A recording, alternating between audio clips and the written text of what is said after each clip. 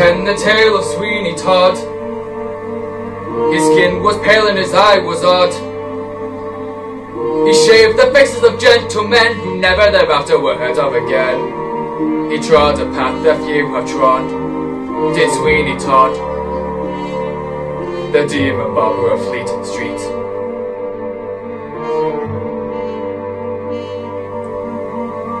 He kept a shop in London town, fancy client and good renown. And more to none of their souls are saved, they went to the maker impeccably shaved. By Sweeney, by Sweeney Todd, the demon barber of Fleet Street.